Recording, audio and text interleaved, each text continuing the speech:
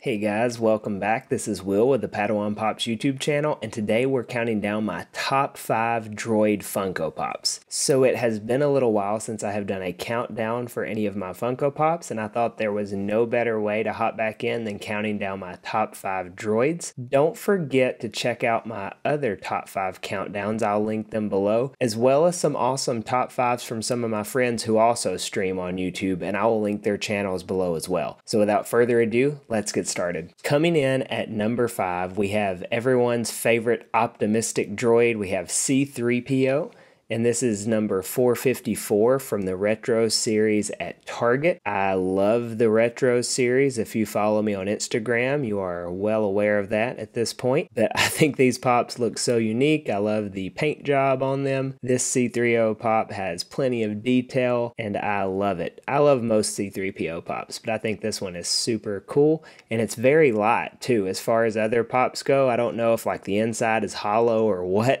but it doesn't feel as heavy heavy as other Funko Pops that I have. And coming in at number four, again, we have C3PO. This time, number 609 from the new Return of the Jedi line.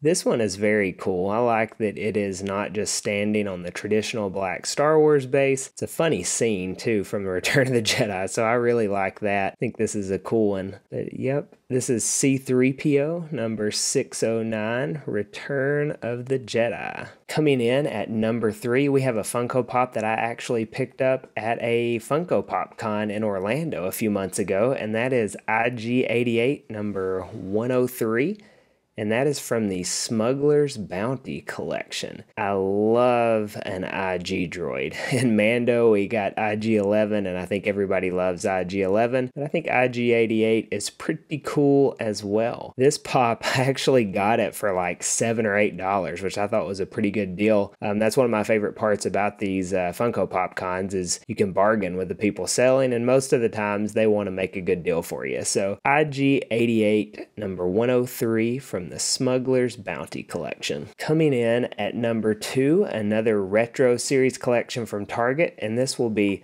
R2D2 number 571. Up until a couple weeks ago, this was my favorite Droid Funko Pop. I really love the color scheme. I love how the R2 units, how the bobble is a little bit different. It's more subtle. It's not a huge bobblehead or anything like that. Again, it's the retro series, so I'm automatically going to like anything that they do. But yeah, R2D2 number 571, and that's the retro series from Target.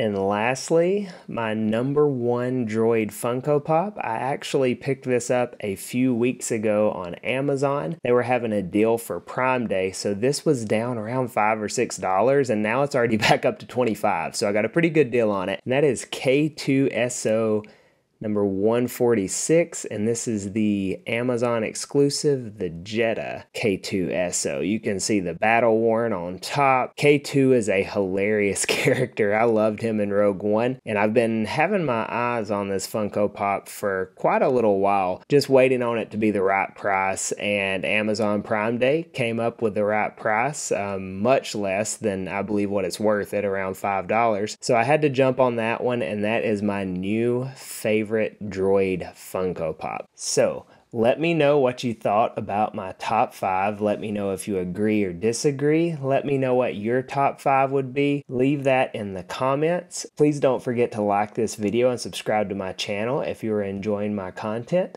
And may the force be with you.